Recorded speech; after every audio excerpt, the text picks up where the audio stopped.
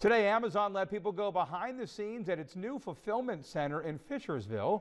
NBC 29's Anahita Jafari got to take a look inside where jobs and some opportunity are now available. Fishersville's newest Amazon fulfillment center is looking to fill hundreds of jobs. Take a look behind the scenes.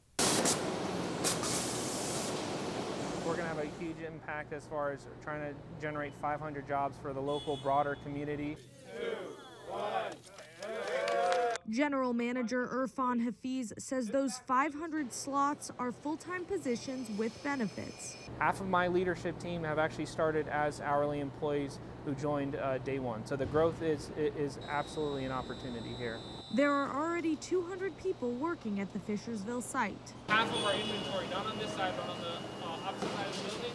Sullivan is the Vice President of Worldwide Economic Development at Amazon. She says partnerships are already paying off. Blue Ridge Community College and James Madison University and, and walk through the permitting and the planning and the zoning and obviously working with the traffic engineers to make sure that this is a positive investment in Fishersville. More than 75% of the employees hired here in the last two weeks live within a 30 mile radius.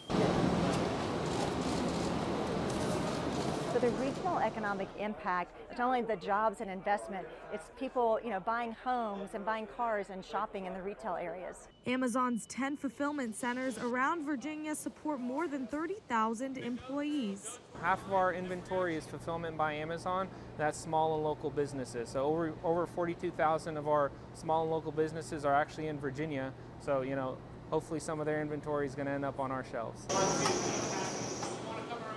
In Augusta County, Anahita Jafari, NBC 29 News.